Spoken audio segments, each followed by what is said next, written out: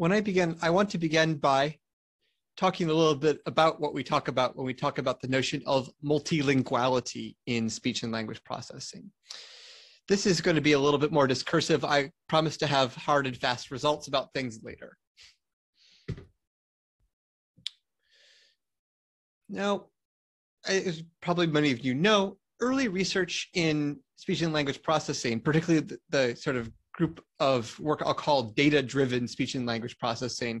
That is the stuff influenced by the machine learning revolution of the 90s onward, was critiqued, and I'd say rightly critiqued, for an over reliance on uh, English and a few other richly resourced hegemonic languages.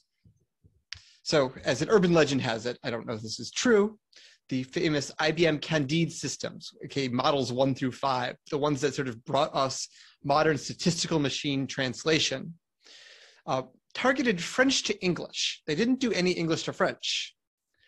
Uh, supposedly, this is because uh, almost all the engineers were monolingual, English speakers, and they wanted to be able to perform basically target side fluency evaluations sort of informally simply by looking at the data of course, they could have gone English to French, or they could have gone uh, Cantonese to English, or whatever. All these things were available to them, but they chose sort of an easy language pair to target, and they and they insisted on English as a target side language to make the task easier.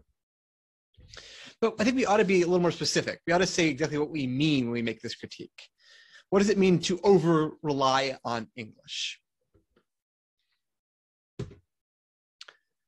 So I want to distinguish between two senses in which the system might be called monolingual. The first one I'll call monolingual by design. Some technical contributions in our field are monolingual des by design in the sense that they are engineered to exploit sort of the typological vagaries of English or other richly resourced hegemonic languages. I'd like to, perhaps this will be controversial, but I would say that any system which treats words as atomic units rather than as the intricately structured units that linguists recognize them to be, might be monolingual by design. If your system uses like one hot um, encoded features that are words, and that's all it uses to sort of get a notion of what context is like, it might have this property. That works decently well in English and one or two other hegemonic languages that happen to be um, morphologically isolating but it's unclear that it would generalize beyond that.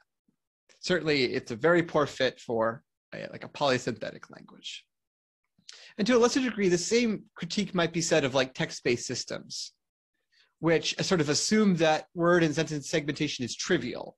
These systems are not going to do well faced with a language like Thai, which doesn't um, have a sort of a orthographic word indication and doesn't have even have sentence indication in some often. You're going to have that system, no matter what you do in a language like Thai, in the, its script, you're going to have to deal with a non-trivial amount of error in segmentation, even if you sort of build a statistical machine system to do the segmentation, there's still going to be a high rate of error. That error is going to propagate, and your system is going to fall down. So I think we all understand this notion of monolinguality. Often the critique is not about this, though. It's about a different sense of monolinguality, what I call monolinguality by evaluation. And I think this is far more common than monolingual by design. Systems that are monolingual by evaluation have simply, the researchers have simply failed to demonstrate that the contribution generalizes beyond a single language. Usually, again, the language is English. I think this is mostly what um, Bender is talking about in that well-known paper about um, multilingualism in natural language processing. So at perhaps at some point in the history of the field, one could blame monolinguality by evaluation on the dearth of multilingual resources. One can simply say like, it's just difficult to obtain resources at scale in a wide variety of languages for whatever the I happen to be working on. Well, this isn't true for all tasks. For an awful lot of tasks, and almost all the ones I personally am excited about, this is no longer really true. Um, these resources now exist. Um, and I want to give credit where credit is due. I think the thing that really kicked this off is actually multilingual work on dependency parsing. Uh, there's a series of challenges that were held in the mid 2000s, and every year there were a couple more languages uh, to parse. And this all this is this sort of body of work, mostly coming out of EU researchers, eventually became the Universal Dependencies database, which is really quite an impressive accomplishment. It also forced standardization in um, how the dependencies were encoded and labeled. But there's many other success stories here. Uh, UniMorph is obviously a big one. I'll talk a little bit about that and also about WikiPron, which I consider to be a example of a large, free, massively multilingual resource. Uh, things like using the common crawl and exploiting that for this uh, uh, for massively multilingual work is also a good example. So I, I like the one the, the example of CCNet, which is essentially a, a, a subsection of the common crawl that has been language ID'd um, with some degree of with like sort of a high precision operating point. And that's really a very useful resource as well. These are used, and they're used in communities I run in, in at the ACL, but they haven't sort of made a, a large impact overall in sort of what kind of work people are, are doing at the ACL, for instance. Um, so seven years after Bender's paper, uh, Sabrina Mielke has a little blog post where she looks at exactly this question, um, basically coding what languages are are present in long papers at the ACL. And you really can't discern much of a change from 2004 to 2016, even though the resource scenario has changed, I think, quite drastically. Um, there are awful lot more free resources and awful lot more free, large, multilingual resources than there used to be, yet there's an awful lot of monolingual English and or also sometimes Chinese work. Still extremely common. So the resource excuse has gone away, but yet we see we see that awful lot of work is simply evaluated on English or Chinese. To use two, two examples. One response to this has been the introduction of massively multilingual models in addition and data set we already mentioned data sets but also like models and shared tasks so you might argue that like multilingual bert like transformer language models are an example of this general trend also shared tasks that target many many languages it used to be the case that uh, not all that long ago about the time i entered the field there were shared tests that were, would call themselves like multilingual x or multilingual y where multilingual meant two languages I, I happen to know a shared test that was called multilingual and it's just English and German. English and German. Um, and that's it. Another one was English and Spanish that I know of. Um, nowadays, our standards for sort of what even counts as multilingual have gotten much higher. And we really do have things that, you know, target a hundred or more languages sometimes. Of course, I acknowledge that this is a small sample of the world's languages, uh, and the sample is pretty heavily biased uh, towards uh, Europe. That said, uh, I think we are making some progress here. But I don't, I'm not convinced this solves the problem. Um, the other critique was that was not just that the work is poorly evaluated, but is or it wasn't evaluated on large languages, but we didn't even know anything about the data quality. So those of you who have been following along may know that um, you know Wikipedia and Wiktionary are often considered high quality resources for these sorts of tasks, particularly when you want large amounts of multilingual data. In the last year or two, we found out that most of Scots Wikipedia was written by a, a teenager who doesn't speak Scots. Uh, there have been there was an, another case of this not all that long ago. Somebody else, the the the, Wiki, the Wikipedia was not reflective of the languages is actually used. Scots raises all kinds of questions too, because is it an independent language or is it part of a dialect line? Um, is it really still spoken or it or is it directly related to modern Scottish English? These are all interesting questions, which maybe we as computational linguists could weigh in on. Um, but is, that's, that's a question for another day. Um, I think the problem is the following. most research and development is conducted by small teams of engineers and or linguists who are ill-suited to perform quality assurance in dozens, if not hundreds of languages. Um, even if you try to sort of gather a linguistically diverse team, um, it's hard to get, you know, much better than a couple people per language. So say you get six people, maybe you can get a dozen languages. Maybe you can get 15, but certainly you'll never get to 100 with, with a dozen people. It just won't happen. One cannot simply look at the data, uh, short of major changes to the way in which we develop these technologies. Um, and this is affecting the quality of our work, our ability to generalize about it as well, to new about its to general to understand about how language these technologies generalize to new languages are influenced in part by this problem. I want to talk about also who benefits when we make these this jump to massively multilingual uh, technology. So if we just, let's just say we, we as a community decide this is one of our values. We want to make our technologies all massively multilingual. We want to be massively multilingual in how we evaluate. We want to be massively multilingual in how we design. What are the consequences and who might benefit? That's what cui bono means in Latin, of course. The first principle, which I think is probably the one that is most salient in our mind, I've tried to sort of break down who benefits and, and who cares about multilingualism in our community. I think the first one is sort of scientists, and many people who see themselves as scientists have the following belief. They are interested in testing technologies across many languages, and they may prefer technologies found to be universally effective. Um, they may say, say something like, I'm not studying natural language processing in, English, I'm studying the processing of natural languages as they actually exist. I've called this principle uniformitarianism um, on analogy with the principle of uniformitarianism in like the natural sciences. For those of you who are not familiar with this notion, um, in the natural sciences, uh, the uniformitarian principle holds that like the principles of physics, for instance, are this um, have not changed over the course of history. So like we can't posit different um, geological or physical forces to account for old rocks than the ones we account for to account for new rocks. This was highly controversial when it was first proposed.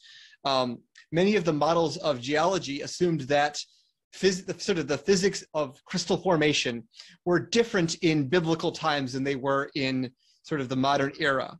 And that could explain some that could sort of explain some of the facts of the universe is you could sort of po- you could sort of posit that physics changed at, at some point in in um, in geological history. Uh, obviously, that sounds de- dangerously unscientific to modern ears, um, that we use this principle of uniformitarianism often as a heuristic. If we don't know any better, we should assume that like it's at least possible to design technology that will work across many languages or perhaps all languages if we just sit down and think hard enough. And this, this also applies to people who are working sort of in a, a corporate setting we'd like technologies that work for as many languages as possible because we don't want to design special modules for special languages. I know from my personal industry experience that we often did have modules that, that called things like Russian stress predictor that works completely different than the, the stress predictor for other languages. Um, or uh, that's not uncommon. I, I can think of, or like French liaison model. Like maybe, maybe the model for liaison does, it doesn't have, doesn't share any code with anything else. Um, but we'd like to sort of get away from these things. We recognize these as basically technical debts that we want to that we want to pay off eventually. The second um, ethic I think we should talk about is the notion of inclusion, for lack of a better term. Some believe that these technologies ought to be available for all humans, regardless of what languages these humans speak. Um, I have this immediate thought as well. Um, I see some of these technologies as like obviously pro-social or at least having pro-social potential. I see some of them as as being vaguely sinister or perhaps just sinister.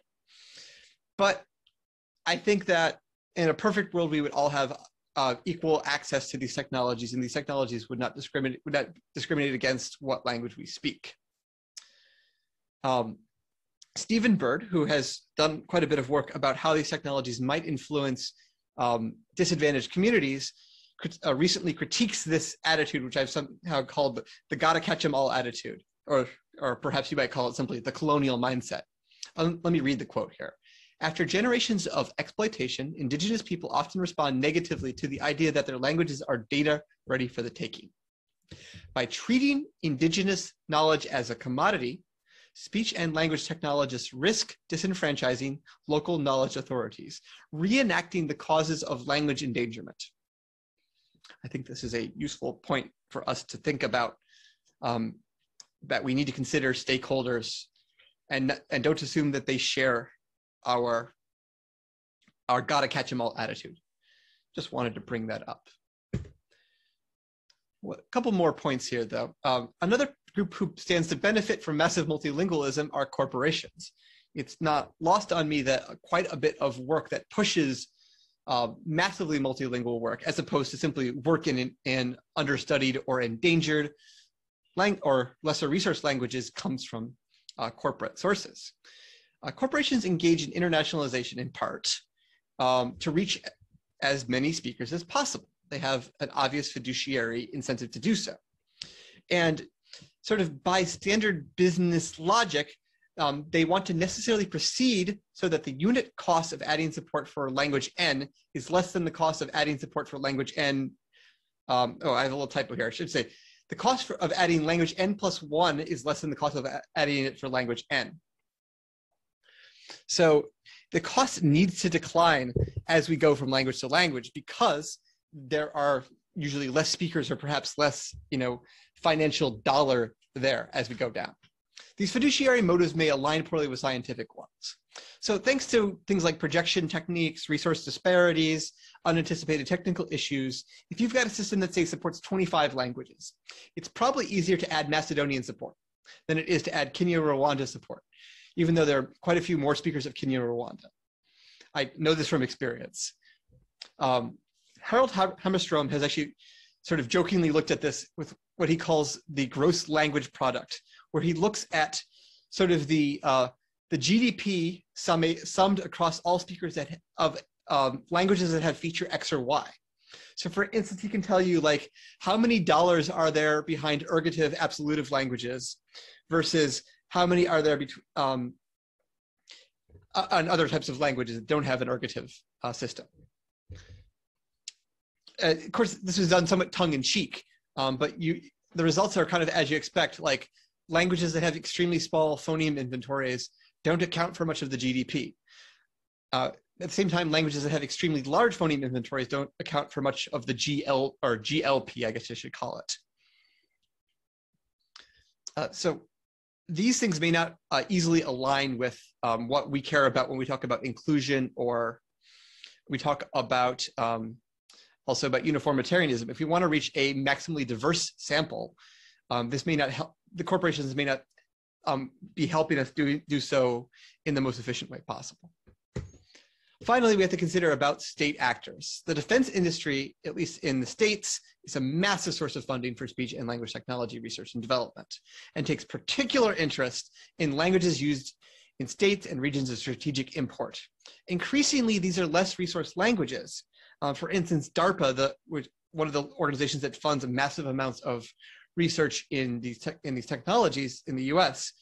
Um, has increasingly been held challenges in which the whole challenge is to be able to pivot rapidly to a understudied language, to build technologies in a rapidly understudied language, which is usually revealed at the end of the shared task.